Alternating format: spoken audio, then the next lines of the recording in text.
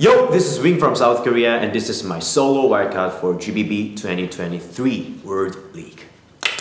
Hmm.